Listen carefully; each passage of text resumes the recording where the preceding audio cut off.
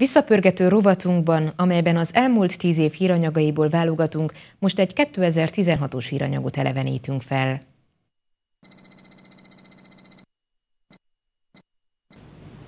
Továbbra is átlag alatti a romániai diákok matematikai, természettudományi és szövegértési készsége.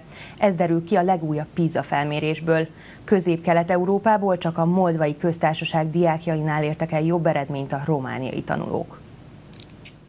A PISA felmérést három évente végzik el 15 éves diákok körében. Romániában 5013 diák vett részt a felmérésben 185 iskolából. Az átlagon aluli teljesítmény okát a híradónk által megkérdezett pedagógusok összetett folyamat eredményeként látják. Nyilvánvaló, hogy a tananyag az, ami nem a mindennapi élettel kapcsolatos, nem arra készíti fel a diákokat, nem a megértés folyamatára készíti fel a diákokat, hanem rengeteg az elmélet, és az az elmélet, ami gyakorlatilag ő nem fog tudni használni, nem, vagy nem fog tudni, nem, nem lesz hol használja.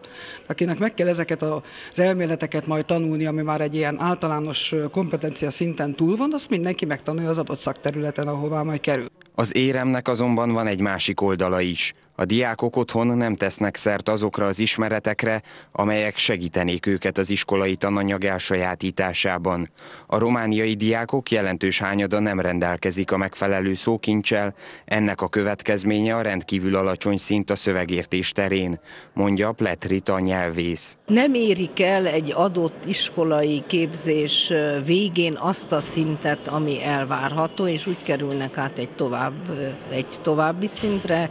A második hiányzanak azok a felzárkoztató programok, amelyek a lemaradókat, lemorzsolódókat hozzásegítenék ahhoz, hogy pótolni tudják a hiányosságaikat. A tananyagok megváltoztatására tett kísérletek javítottak ugyan az elmúlt években végzett felmérések eredményein.